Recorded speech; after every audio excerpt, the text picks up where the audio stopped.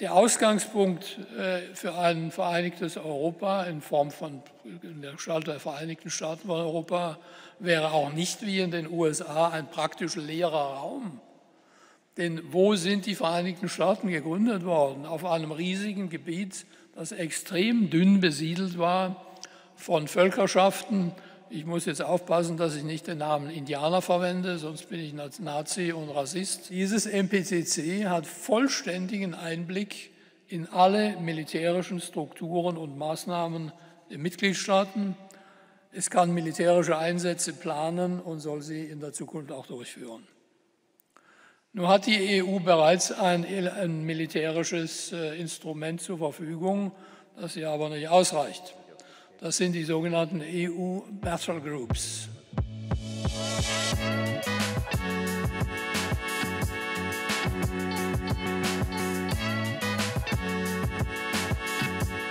Und schließlich, um in der politischen, letztlich auch wirtschaftlichen, militärischen Auseinandersetzung mit den Weltmächten bestehen zu können, ist ein Minimum an Koordination in der Außenpolitik nötig aber kein Maximum und schon gar kein europäischer Außenminister.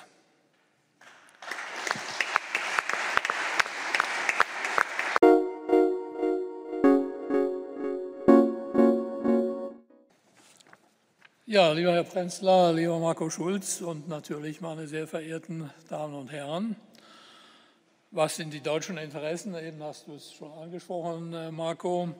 Das will ich natürlich versuchen zu eruieren im Laufe dieses Abends und auch das, was daraus abzuleiten ist. Aber vielleicht ein Wort vorweg, ein ganz persönliches.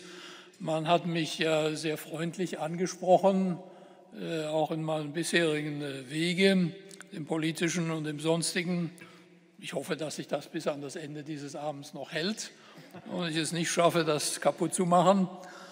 Äh, es ist vielleicht sinnvoll, eines zu erwägen, erwähnen, aber nicht erwägen, weil es mir symptomatisch erscheint für viele, die in Deutschland aufgewachsen sind in den 60er Jahren, den 50er Jahren. Ich bin Jahrgang 1944 und damit wahrscheinlich einer der ältesten Knacker äh, in diesem Raum. Die deutsche Nation, so ist uns beigebracht worden als Kinder und als Jugendliche, ist eine verfemte, eine schuldbeladene, eigentlich die eigentlich gar nicht, eine, die gar nicht existieren sollte. So sind wir aufgewachsen und so versuchen es ja bestimmte politische Kräfte uns auch heute noch einzureden. Und in dieser Zeit war Europa so eine Art Ersatzvaterland, in der Weise organisiert, wie es damals war, also etwa in der Gestalt der Europäischen Wirtschaftsgemeinschaft.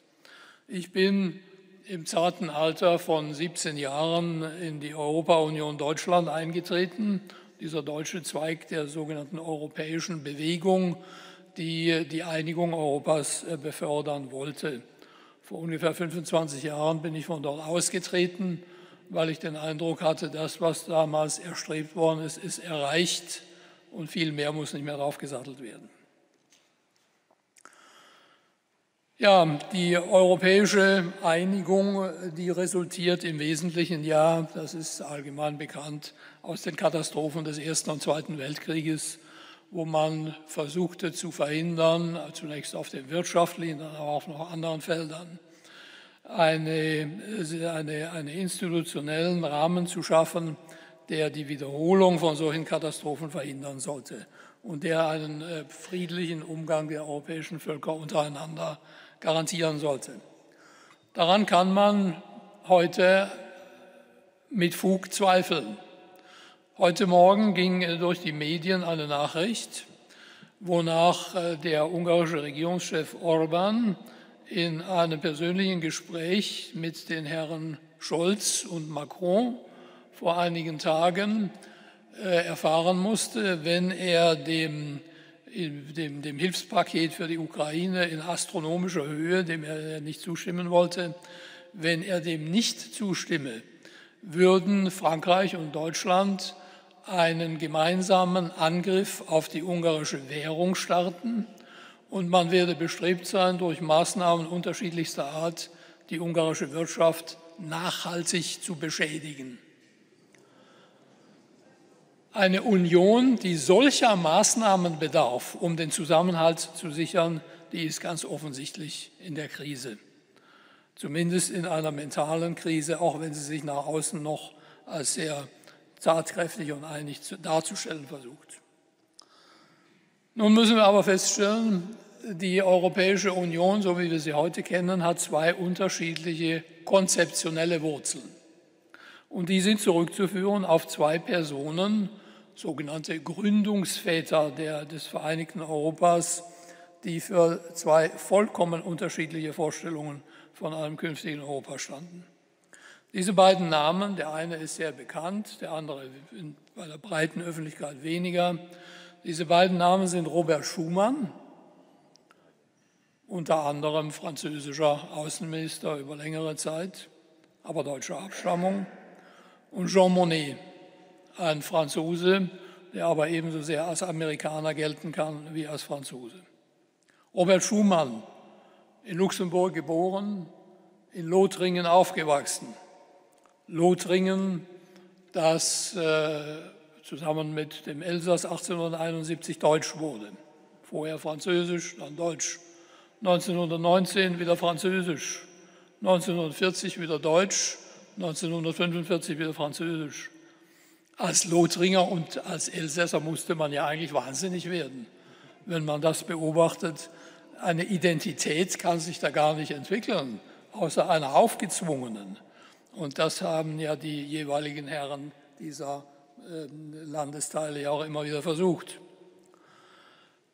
Robert Schumann nehme ich absolut ab, den Impuls auf eine, eine auf Dauer tragfähige deutsch-französische Einigung zu schaffen. Das war sein Hauptziel, das Hauptziel seines Lebens, das er als deutscher Politiker und als französischer Politiker in der gleichen Weise verfolgt hat in glaubhafter Weise. Der andere ist von ganz anderem Zuschnitt. Jean Monnet stammt ähm, aus dem Cognac-Gebiet und mit dem Cognac hatte er auch was zu tun. Es gab da, weiß es nicht, ob sie heute noch existiert, aber auch nicht nachgeschaut, eine Marke Cognac Monet.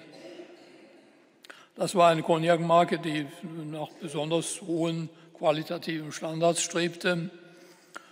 Ähm, aber äh, Monet hat sich nicht äh, damit begnügt, äh, in, in, der, in der väterlichen Firma weiterzuarbeiten und sie zu übernehmen, sondern er ist Bankier geworden.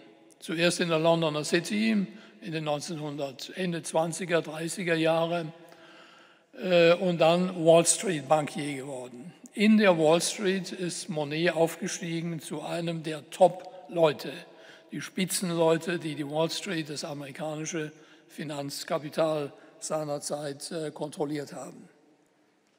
In dieser Funktion als überzeugter Europäer, eigentlich weniger denn als überzeugter Amerikaner, denn er wollte für das künftige Europa die politischen Institutionen der Vereinigten Staaten vorsehen.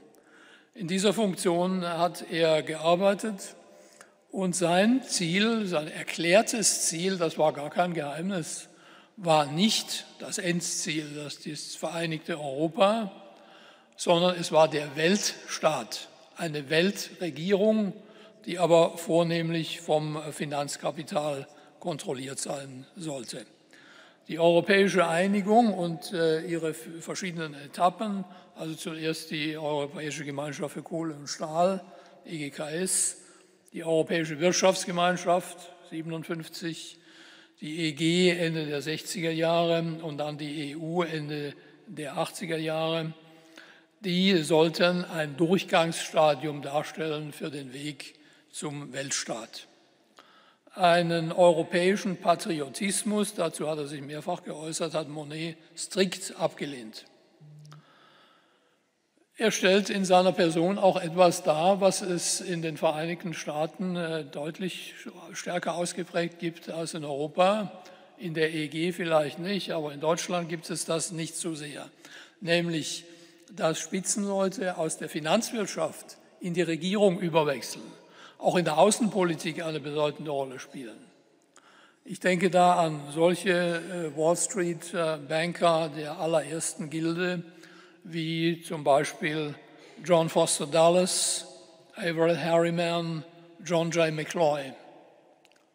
Da wird manch einer von Ihnen fragen, wie? Dulles, McCloy, Harriman? Das waren doch amerikanische Außenminister. Ja, waren sie. Sie sind von der Wall Street in das amerikanische Außenamt gewechselt und nach dem Ende ihrer Amtszeit wieder zurück. Man könnte vielleicht spekulieren, dass von daher der Einfluss des amerikanischen Finanzkapitals auf die US-Regierung nicht so ganz gering sein würde.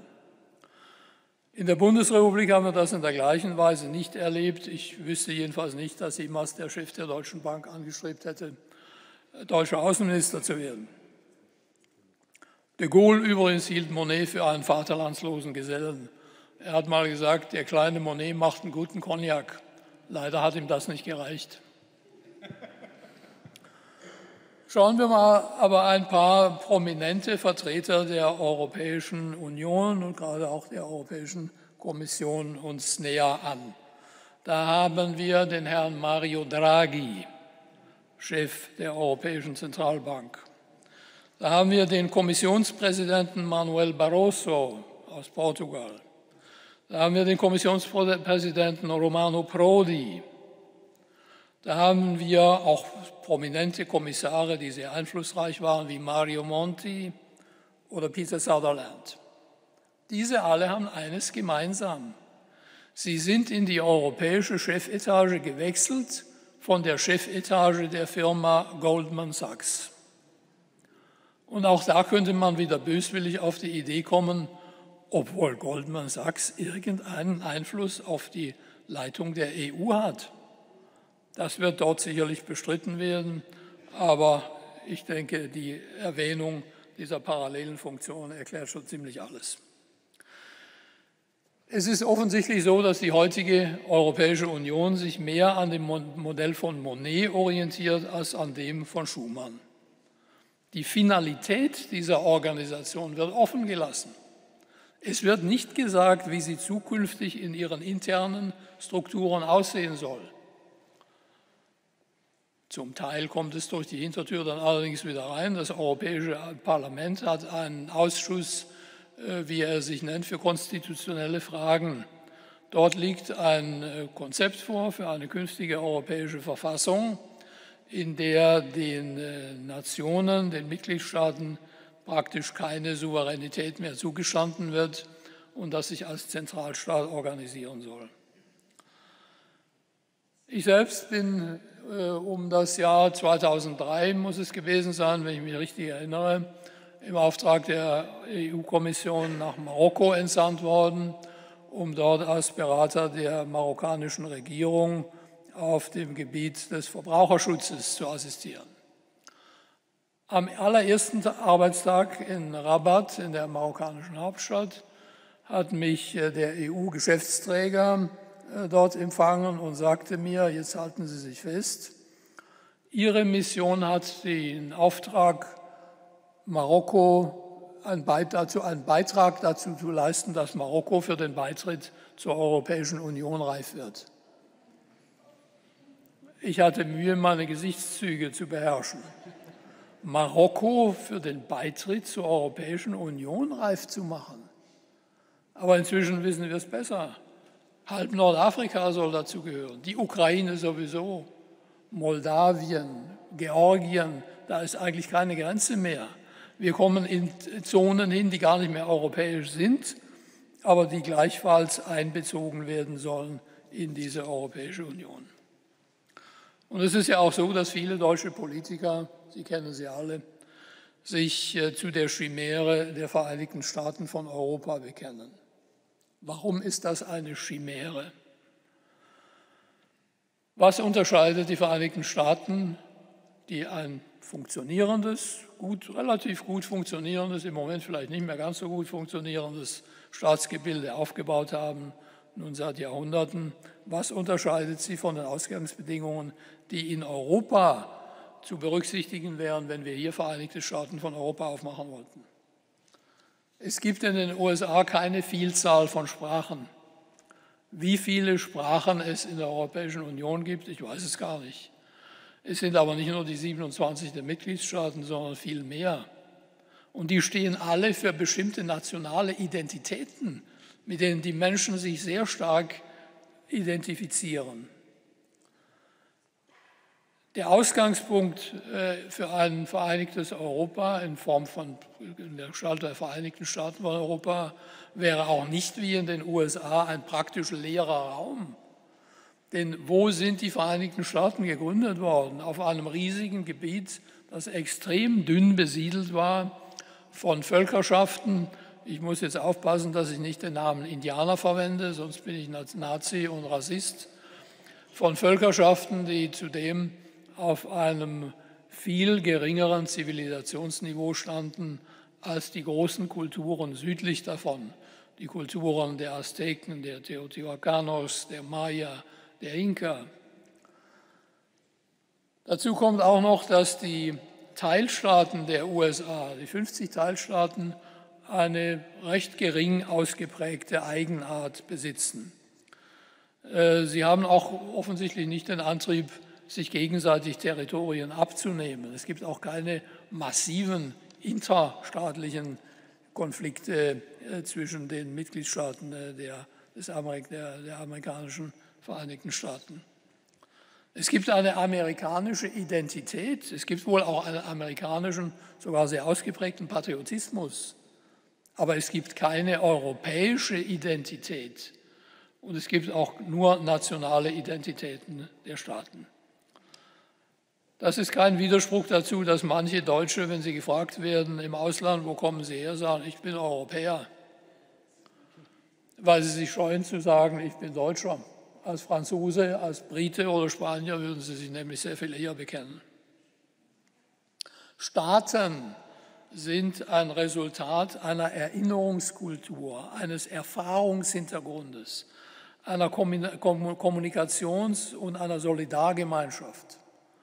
Schon ein großer französischer Philosoph, Ernest Renan, hat 1860 gesagt, ein Zollverein ist kein Vaterland.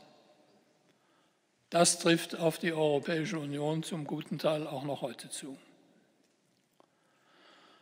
Ja, keine Territorialkonflikte in den Vereinigten Staaten, aber wie sieht es in Europa aus? Gibt es Konflikte zwischen europäischen Staaten? Da werden Sie schon lachen, wenn Sie die Frage hören. Es gibt einen Konflikt zwischen Ungarn und Rumänien, denn Rumänien ist 18, 1918 äh, pardon, ein Großteil des damaligen ungarischen Staatsgebiets zugesprochen worden. Es gibt einen Konflikt zwischen Ungarn und der Slowakei, denn in der Slowakei gibt es eine zahlreiche ungarische Minderheit, die auch nach wie vor Ungarisch spricht. Es gibt die Balkankonflikte, in denen sich Konfliktlinien ohne Ende überschneiden. Sie kennen es. Es gibt den Konflikt zwischen Griechenland und der Türkei. Es gibt einen wachsenden Konflikt zwischen dem Baltikum und Russland, weil es in den baltischen Staaten russische Minderheiten gibt. Es gibt die Ukraine, da brauche ich kein weiteres Wort dazu zu sagen. Es gibt Nord- und Südzypern, wo die griechischen und die türkischen Bevölkerungsteile im Konflikt miteinander liegen. Rumänien will sich Moldawien eingliedern, Slowenien und Kroatien streiten über die Bucht von Piran, Spanien ist im Konflikt mit Marokko wegen Ceuta und Melilla und mit England wegen Gibraltar und so weiter und so weiter und so fort. Und dazu gibt es noch Separatismen in vielen europäischen Ländern, insbesondere in England wegen Schottland, in Frankreich wegen Korsika und äh, der Bretagne äh, und, und, äh, und anderes mehr, brauche ich im Einzelnen nicht darauf einzugehen. Klar ist, eine zwangsvereinigte Europäische Union, ein, Zwangs, ein zwangsweise hergestellte Vereinigte Staaten von Europa wären von Anfang an ohne eine eigene Identität und äh, mit massiven inneren und äußeren Konflikten äh, konfrontiert. Der französische Politiker und Schriftsteller Philippe de Villiers hat das mal so ausgedrückt, ich zitiere, zitiere wörtlich mit Genehmigung des Herrn Präsidenten, bin ich so gewohnt aus dem Bundestag. Das letzte Stadium Europas wäre ein Raum, ein Raum ohne Grenzen, ohne Staatsvolk, ohne Staatsgebiet, ohne Lebensart, ohne Glauben und ohne Zusammenhalt. Ist es das, was wir eigentlich wollen? Ich fürchte, selbst diejenigen, die sehr für Europa sind, werden nur mit Schrecken auf eine solche Zukunft schauen.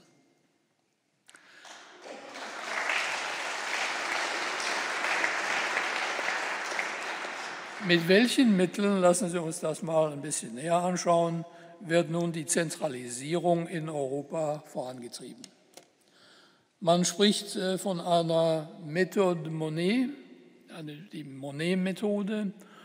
Was beinhaltet die? Sie kennen alle ein Zitat äh, von äh, Jean-Claude Juncker, dem früheren Kommissionspräsidenten, der mal sagte, wir unternehmen einen Vorstoß auf eine vertiefte europäische Integration. Wenn sich kein großes Geschrei erhebt, dann machen wir weiter, so lange, bis es kein Zurück mehr gibt. Das beschreibt sehr gut, was hier konkret geschieht. Ein Integrationsschritt zieht den nächsten nach sich. Durch Integration ausgelöste Krisen können anscheinend nur durch noch mehr Integration gelöst werden.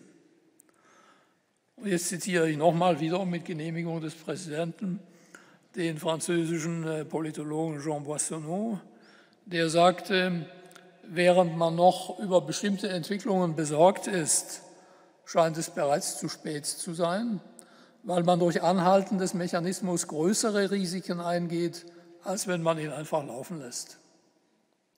Je krisenhafter die Entwicklungen, desto besser für die weitere Integration. Der legendäre Kommissionspräsident Jacques Delors redete schon von nützlichen Krisen, die weitere Schritte erleichtern. Und äh, unser Finanzminister und Parlamentspräsident Wolfgang Schäuble, Friede seiner Asche, bekannte sich ebenfalls dazu. Die Krise als große Chance in der europäischen Integration, mächtige Schritte durchzusetzen, die anders gar nicht möglich gewesen wären. Aber auch ohne Krisen werden aufgrund von vermeintlichen behaupteten Zwängen immer mehr Rechtsgebiete besetzt und damit auch die Kompetenzen der Kommission immer mehr erweitert. Wir sind konfrontiert mit einer Flut von Rechtsakten, die die Europäische Union erlässt und die sie zum Schiedsrichter auf immer mehr Gebieten unseres Lebens macht. Dazu zwei Zahlen zum Vergleich. In dem Zeitraum, in dem ich dem Deutschen Bundestag angehörte, nämlich von 2017 bis 2021, beschloss der Deutsche Bundestag 547 neue Gesetze. Das ist schon eine ganze Menge. 547 neue Gesetze, nationale deutsche Gesetze. Die EU beschloss im gleichen Zeitraum 2914 neue Gesetze. Das ist geradezu ein Amoklauf der Rechtsetzung. Wie kommt das dahin? Die EU sieht, je mehr Gebiete sie durch Rechtsetzung besetzt, desto mehr Kompetenzen eignet sie sich an, desto unerlässlicher wird sie, desto stärker ausgeprägt ist ihre Macht auf allen möglichen Gebieten des täglichen Lebens und zum Teil auch auf denen, für die ihr die europäischen Verträge gar keine Kompetenzen geben. Die EU setzt Recht in einer fast besinnungslosen Art und Weise. Ich kenne das ja nun aus dem Rechtsausschuss im Deutschen Bundestag, dem ich angehörte, indem wir in jeder der alle zwei Wochen stattfindenden Sitzungen mit einem solchen Konvolut von neuen europäischen Rechtsbestimmungen konfrontiert waren oft wenige Tage vor der Sitzung präsentiert, europäische äh, Entwürfe für Richtlinien und für Verordnungen, manchmal in einem Umfang von 40, 50, 60 Seiten, sowieso alles in Englisch. Niemand, nicht nur von der AfD-Fraktion, sondern auch von den anderen Fraktionen im Bundestag hatte die Möglichkeit, das in der Kürze der Zeit zu prüfen, zu lesen oder auch nur sich eine entsprechende Beratung von externer Seite äh, zu, zu beschaffen.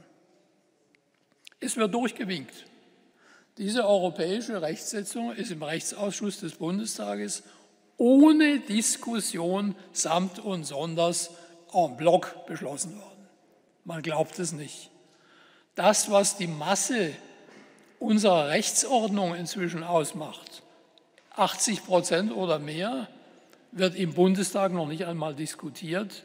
Es wird in Brüssel beschlossen und dann von uns einfach durchgewinkt.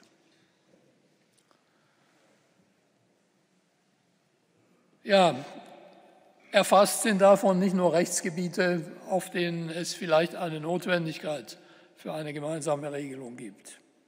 Das trifft aber nach meinem Dafürhalten eher für die wenigeren zu.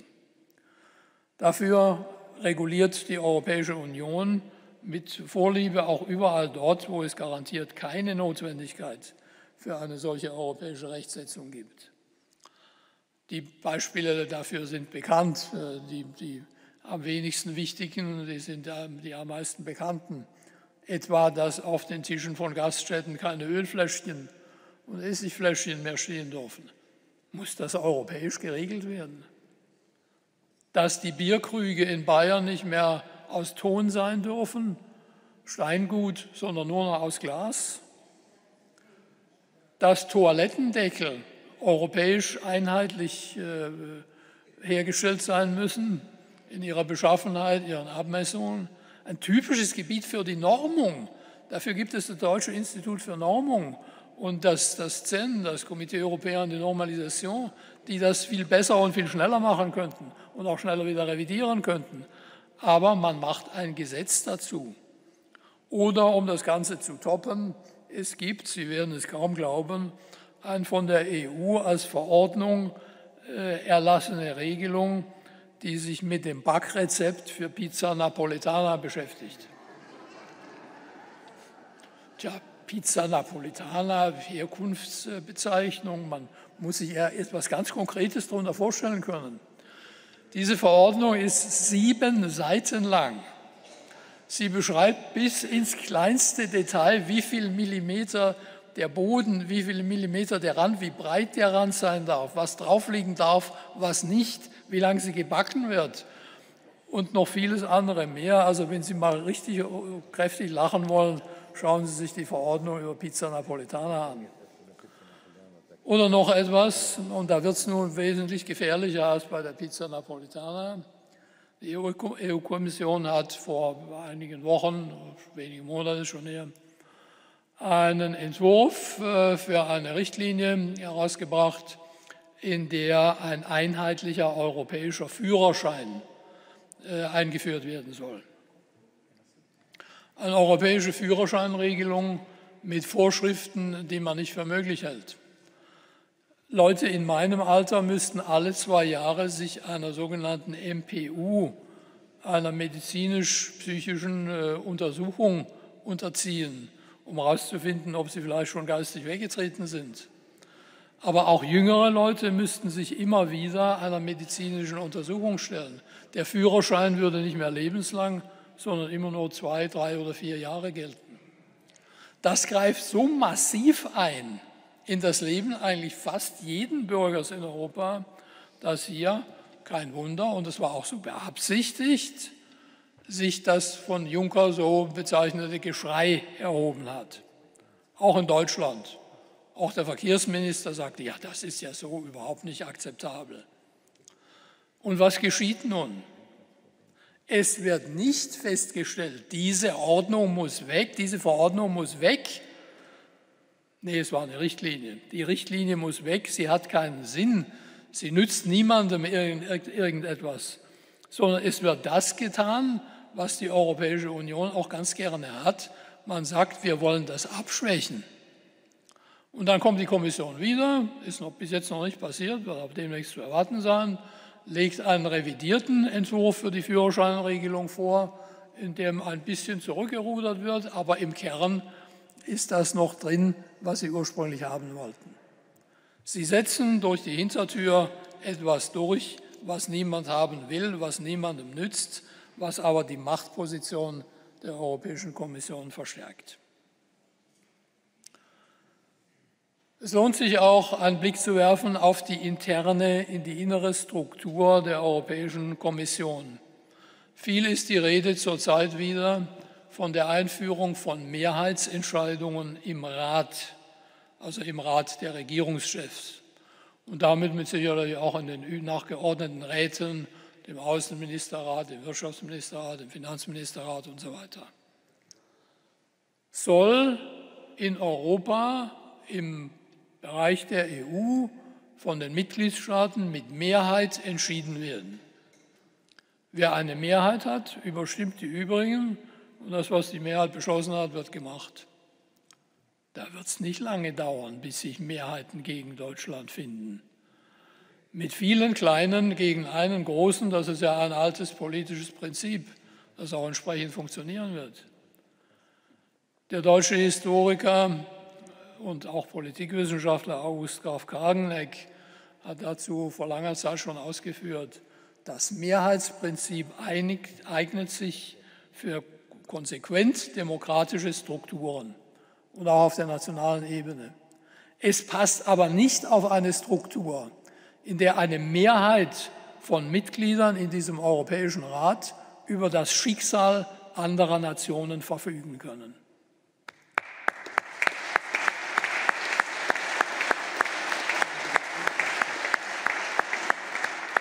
Ich habe schon erwähnt, die EU versucht auch Gebiete zu besetzen, für die ihr die Verträge, also der EU-Vertrag und der Vertrag über die Arbeitsweise der Europäischen äh, Union, keine Kompetenzen äh, zuteilen.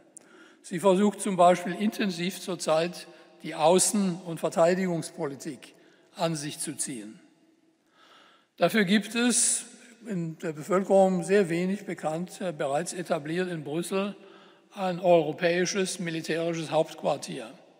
Nicht das der NATO, die darf da gar nicht mitbestimmen, sondern das ist ein europäisches Hauptquartier, das sich nicht so nennt, sondern schöner irreführender Titel Military Planning and Conduct Capability, MPCC.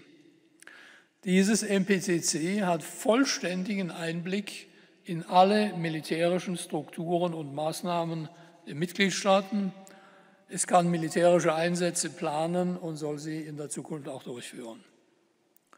Nun hat die EU bereits ein, militärisches äh, Instrument zur Verfügung, das hier aber nicht ausreicht. Das sind die sogenannten EU Battle Groups, Kampfgruppen. Das ist äh, eine, eine, ein militärischer Korpus, der von Fall zu Fall zusammengestellt wird aus Truppen der Mitgliedstaaten die EU übernimmt nur die Funktion zu koordinieren diese Einsätze. Sie hat aber keine direkte Befehlsgewalt über diese Battlegroups. Das soll sich nun in Kürze ändern, indem eine sogenannte Rapid Deployment Capacity eingerichtet wird als EU-Eingreiftruppe mit eigenen Truppen der EU, die von den Mitgliedstaaten zur Verfügung gestellt werden über die die Mitgliedstaaten selber, die sie stellen, aber nicht mehr verfügen können. Damit tritt die EU natürlich auch offiziell in den Gegensatz und den Konflikt zur NATO. Und die, das Ende vom Lied ist natürlich, Sie haben es wahrscheinlich in der Presse mitbekommen, in den letzten Wochen und Monaten, dass wieder über eine europäische Armee gesprochen wird. Die ist 1954 schon an Frankreich gescheitert und sie wird es hoffentlich auch jetzt wieder tun. Mit der Demokratie ohnehin ist es in der EU nicht weit her. Es gibt da, ich, ich zitiere vielleicht zu viel diesen Abend, der, der Präsident könnte auch ruhig sagen, jetzt ist aber Schluss mit den Zitaten. Es gibt ja dieses berühmte Zitat von unserem unvergleichlichen Bundeskanzlerkandidaten Martin Schulz der allerdings in seinem Wahlkampf um dieses Amt nicht weit gekommen ist. Der sagte mal, wenn die Europäische Union einen Antrag auf Mitgliedschaft in der Europäischen Union stellen würde, dann würde sie mangels demokratischer Strukturen abgelehnt.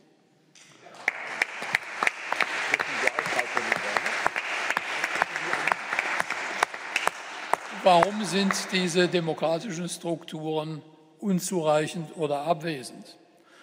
Ein klassisches Demokratieprinzip heißt zum Beispiel One Man, One Vote. Ein Mensch, eine Stimme. Aber wie sieht es in der EU aus, wenn das Europäische Parlament gewählt wird? Um einen Sitz im Europäischen Parlament zu erringen, sind in der Bundesrepublik 811.000 Wählerstimmen notwendig. Für äh, die Republik Malta sind nur 67.000 äh, nötig. Ein krasses Milchverhältnis. Die Stimme eines Maltesers wiegt ungefähr zwölfmal so schwer wie die eines deutschen Wählers. In anderen äh, Mitgliedstaaten wie in Griechenland, Rumänien, Bulgarien ist das Missverhältnis nicht ganz so krass, aber auch die Stimmen der dortigen Wähler wiegen viel schwerer, können viel mehr bewirken als die Stimme eines deutschen Wählers. Das Parlament, so wie es sich nennt, kann allein überhaupt nichts entscheiden. Es muss immer im Einvernehmen mit dem Europäischen Rat äh, beschließen. Die Zusammensetzung der Kommission, also auch der gewissermaßen der Regierung, auch wenn sie sich nicht so nennen kann, äh, wird ausgemauschelt zwischen den Mitgliedstaaten, aber nicht im EP bestimmt, im Europäischen Parlament. Die Gesetzgebung erfolgt mit einer Anzahl von vollkommen undurch, nach außen hin vollkommen undurchsichtigen Verfahren. Würde zu viel, zu weit führen, wenn ich im Moment erläutern wollte, was die Komitologie oder der Trilog sind.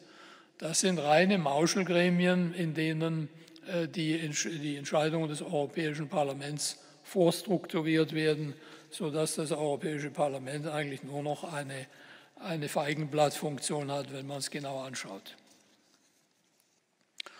Das Ganze führt dann auch noch zu etwas, was ich als die Sanktifizierung der EU bezeichne. Grundlegende Kritik an der EU gilt als, als illegitim, eigentlich als unanständig. Das darf man nicht, denn das ist ja etwas ganz Ehrenwertes, etwas fast Göttliches. Henrik Broder hat dazu mal gesagt, dass es, es ist Hochverrat geradezu, an der EU Kritik zu üben. Wobei er einer derjenigen ist, die am schärfsten mit der EU ins, ins Gericht gegangen sind vielleicht gar Gotteslästerung. Wer an der EU grundsätzlich Kritik übt, der ist gegen Europa. Also die EU ist Europa. Wie kann ein Europäer gegen Europa sein? Das ist in sich schon ein Unsinn. Es kann nur heißen, der Betreffende ist nicht ganz einverstanden mit der Art, wie dieses Europa sich jetzt in seiner Verfasstheit zeigt. In Deutschland sind Sie, wenn Sie Kritik an der EU üben, Rassist oder Nazi gleich. Und nun gibt es etwas, das man erst richtig einschätzen kann, wenn man mal längere Zeit mit der EU zu tun gehabt hatte. Und ich habe das ungefähr 15 Jahre lang in den verschiedensten Funktionen in Brüssel erleben können. Sie hat Anpassungsmechanismen entwickelt gegenüber Leuten, mit denen sie zu tun haben, die geradezu bewundernswert sind. Das, hält, das halten sie nicht für möglich. Da kommt einer nach Brüssel, der hat ein eher neutrales Verhältnis zur EU, vielleicht sogar ein kritisches. Und nach wenigen Monaten, vielleicht schon nach Wochen, finden sie den vollkommen umgedreht vor. Was ist da passiert? Die EU schleust eine Unmasse von Leuten durch ihre Institution durch, die sie mit ihrer Institution und mit ihrer Denkungsweise sozialisieren will. Das sind Komitees jeder Art. Es gibt äh, in Brüssel Komitees, die immer wieder neu besetzt werden. Da sitzen Tausende, wenn nicht sogar Zehntausende von Leuten drin, die regelmäßig nach Brüssel zu irgendwelchen Sitzungen kommen. Sie beschäftigen eine ebenso große Masse von Praktikanten dass sowas ist in Deutschland nicht vorstellbar. Sie kommen in eine Sitzung, die hochrangig besetzt ist und neben äh, dem Kommissar und dem, den Generaldirektoren sitzen da zwei Leute, die sagen während der ganzen Sitzung keinen Ton. Das sind Stagiäre, Praktikanten, die äh, dort eben in diese äh, europäische Regierungsweise hereingezogen werden und die sich mit ihr sehr schnell und sehr stark identifizieren. Sie sehen auch die EU nicht als eine Verwaltungsbehörde, die einen bestimmten technischen Auftrag hat in Europa, einen Koordinierungsauftrag, sondern das wird gesehen als ein hochnobles Menschheitsprojekt, an dem, wie schon gesagt, keine Kritik erlaubt ist. Da findet eine Art geistige Umerziehung statt, zum Teil durch finanzielle Vorteile. Leute, die bezahlt für die EU arbeiten, sind in einer Größenordnung bezahlt, wie sie sie in, der, in den allermeisten ihrer Herkunftsländer nie erleben würden. Ein bulgarischer oder rumänischer EP-Abgeordneter, der verdient ungefähr das Zehnfache dessen eines rumänischen Abgeordneten, nationalen oder bulgarischen. Man vermittelt den Leuten so ein Gefühl der eigenen Bedeutung, die sie in Wirklichkeit gar nicht haben. Bedeutung der eigenen Person. Man könnte Informationen besitzen. Das suggerieren die dann immer gerne. Informationen besitzen, zu denen andere Sterbliche keinen Zugang haben. Man wisse Dinge, über die man gar nicht sprechen dürfte. Man bewege sich in der Nähe von Entscheidungsträgern. Ich kenne solche Naturen aus dem FF und stelle fest, wie sie allmählich umgedreht werden, wie sie zu Adepten der EU gemacht werden, äh, die äh, sehr leicht äh, zu, zu beherrschen und zu, zu regeln sind. Nun ja, das sind recht kritische Anmerkungen, damit habe ich mich schon verdächtig genug gemacht. Aber zutreffende sind es, meine ich doch. Was führt denn nun aus dieser Spirale der problematischen Entwicklungen wieder heraus? wenn man, so wie zum Beispiel ich, europäische Zusammenarbeit will, aber keinen europäischen Superstaat und auch kein, überhaupt keinen europäischen Staat, sondern ein Koordinierungsorgan, das für die Mitgliedstaaten und deren Regierungen arbeitet.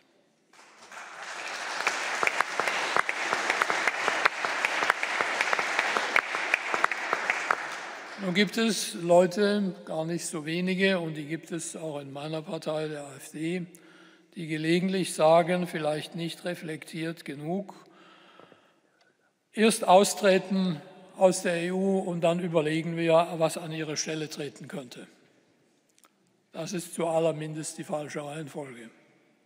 Aus der EU austreten, wenn das mehrere Staaten gleichzeitig tun würden, hätten wir in Europa das totale Chaos dann gäbe es nur noch eins, rette sich wer kann.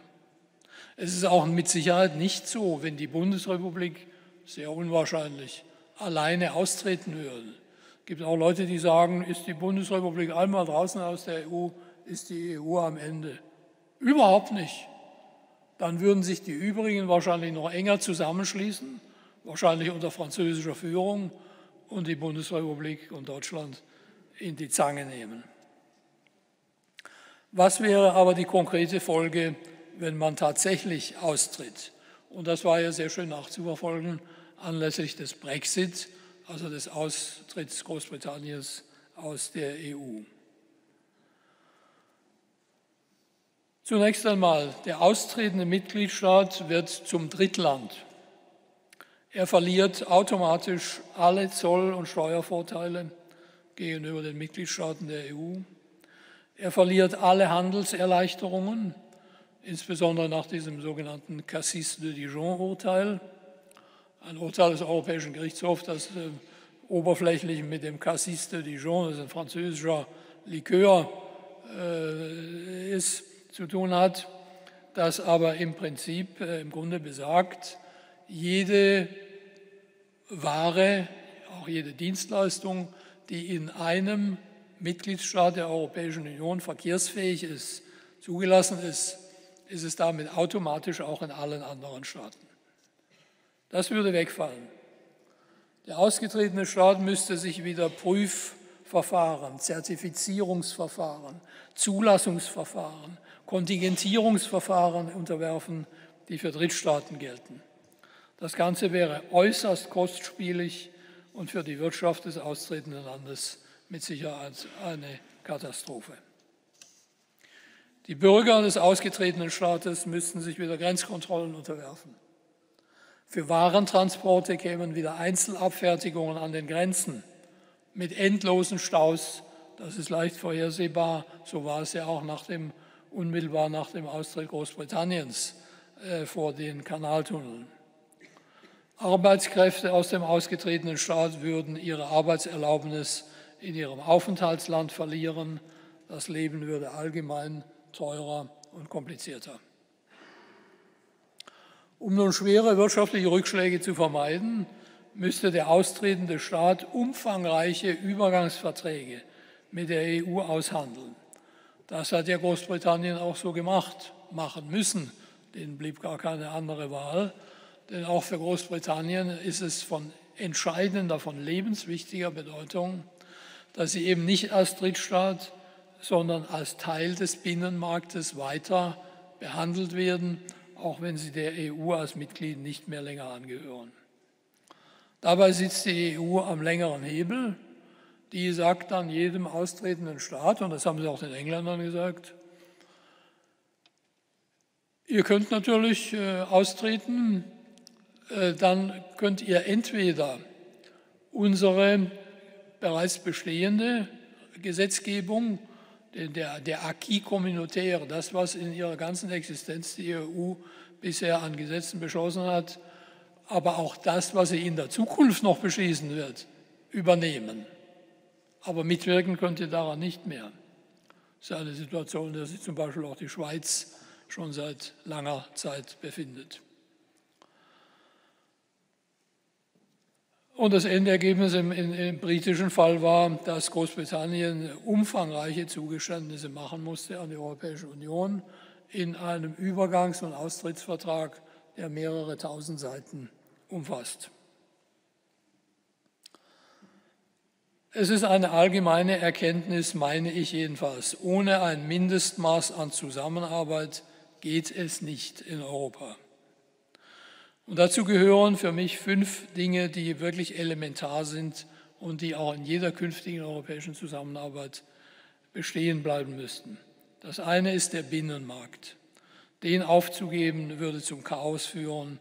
Die vier sogenannten Freiheiten, vier Freiheiten, der freie Verkehr von Personen, von Waren, von Dienstleistungen und von Kapital muss erhalten bleiben. Das erfordert ein Mindestmaß aber kein Höchstmaß an Koordinierung. Die Freizügigkeit, äh, entsprechend nach dem Vertrag von Schengen, die wird von den europäischen Bürgern sehr geschätzt. Ich glaube nicht, dass man sich viel Freunde machen müß, würde, wenn man bei der Reise nach äh, den Niederlanden, nach Belgien, nach Frankreich an der Grenze wieder Zollformalitäten, Passkontrollen und alles, was damit zusammenhängt, absolvieren müsste. Die Bürger schätzen, den, schätzen die Freizügigkeit, die Asylbewerber schätzen sie auch. Sie nutzen sie in der unverschämtesten Art und Weise. Das spricht aber nicht gegen die Freizügigkeit. Wir müssen nicht die Freiheit abschaffen, sondern wir müssen den Missbrauch der Freiheit abstellen.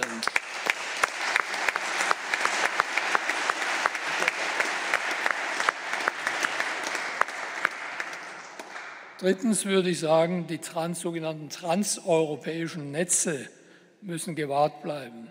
Nämlich alles das, was grenzüberschreitend als Eisenbahn, Autobahn, Strom, Luftverkehr, Telekommunikation und so weiter funktioniert. Um auch nur die, die Stromversorgung zu nehmen. Es wäre illusorisch zu glauben, wir könnten in Deutschland noch eine rein national abgeschottete Stromversorgung sicherstellen dass wir überhaupt in, in der Bundesrepublik nicht von einem Blackout zum anderen uns hangeln unter den Habeckschen Maßnahmen. Hängt damit zusammen, dass wir ständig große Strommengen aus Frankreich, aus äh, der Tschechischen Republik und woanders woher importieren. Und wenn gerade die Sonne scheint und der Wind gleichzeitig weht, unseren überschüssigen äh, sogenannten fossilfreien Strom anderswohin exportieren können. Nehmen Sie etwa die Versorgung mit Öl und Gas. Wenn Sie sich das Netz der europäischen Pipelines anschauen, das ist wie ein dichtes Spinnennetz, das sich über ganz Europa liegt und das die Versorgung in allen Teilen der Europäischen Union sichergestellt hat. Das zu kappen an nationalen Grenzen ist vollkommen unvorstellbar. Ich meine auch, bedeutende internationale Handelsverträge sollten gemeinsam abgeschlossen werden und nicht von jedem Mitgliedstaat gesondert. Wenn ein Handelsvertrag mit Argentinien abgeschlossen werden soll, dann kann man entweder die EU beauftragen, dass sie das im Rat beauftragen, dass sie das nach bestimmten Kriterien äh, verhandelt, oder alle 27 Mitgliedstaaten handeln einen eigenen Handelsvertrag mit Argentinien aus. Dass die Argentinier sich auch nur darauf einlassen würden, ist nicht anzunehmen. Und schließlich, um in der politischen, letztlich auch wirtschaftlichen, militärischen Auseinandersetzung mit den Weltmächten bestehen zu können, ist ein Minimum an Koordination in der Außenpolitik nötig, aber kein Maximum und schon gar kein europäischer Außenminister.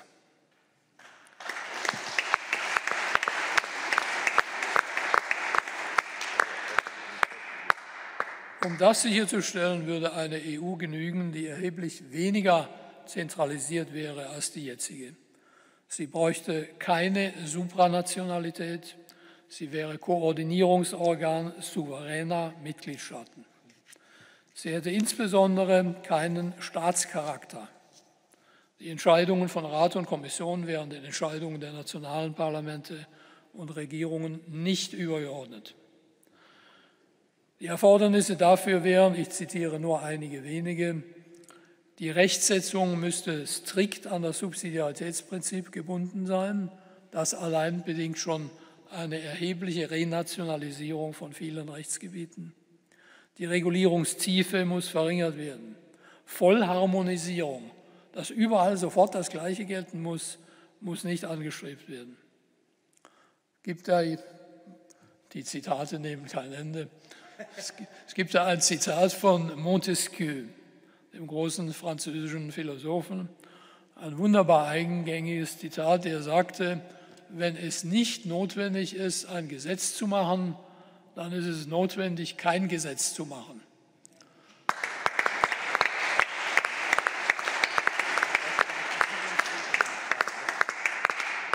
Das sollte eigentlich auf dem Schreibtisch eines jeden EU-Beamten und auch eines jeden deutschen Abgeordneten immer eingegraben sein, sodass es nicht mehr wegnehmen kann. Die Entscheidungen des Europäischen Gerichtshofs, die zu 99 Prozent nur das wiedergeben, was die Kommission sagt, wären den Urteilen der nationalen Verfassungsgerichte nachrangig, also nicht den Verfassungen der Mitgliedstaaten übergeordnet. Das versucht nämlich der Europäische Gerichtshof durchzusetzen dass er das nationale Verfassungsrecht bricht. Aber wenn unsere Verfassung nur noch von außen reguliert werden kann, was bleibt dann von der Souveränität überhaupt noch übrig? Die Gebiete der Einwanderung und der Asylpolitik müssten ausschließlich in nationaler Verantwortung verbleiben. Das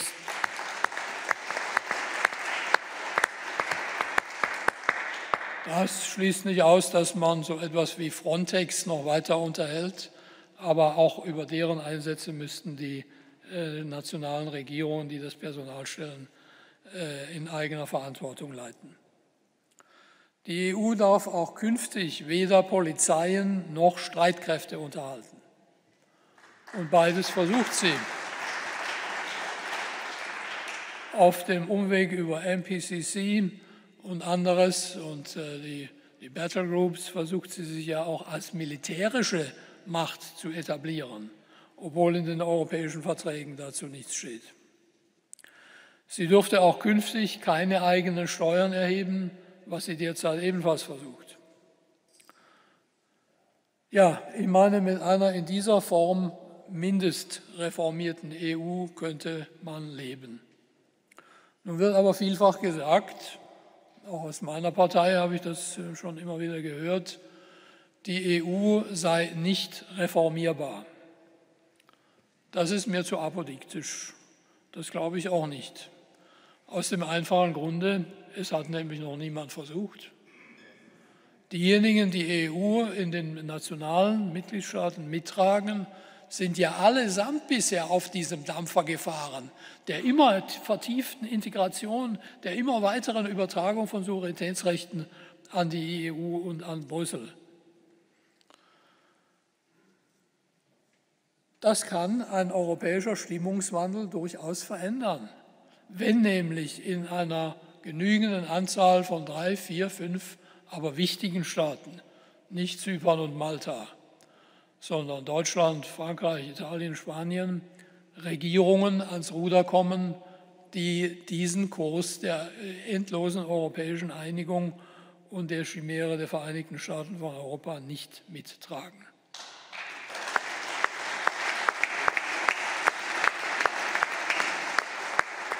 Die Voraussetzungen dafür verändern sich ja laufend. In Italien haben wir eine Regierungschefin Meloni. In Frankreich sieht es ganz danach aus, als ob Marine Le Pen bei den nächsten Präsidentschaftswahlen die besten Chancen hätte, französische Staatspräsidentin äh, zu werden.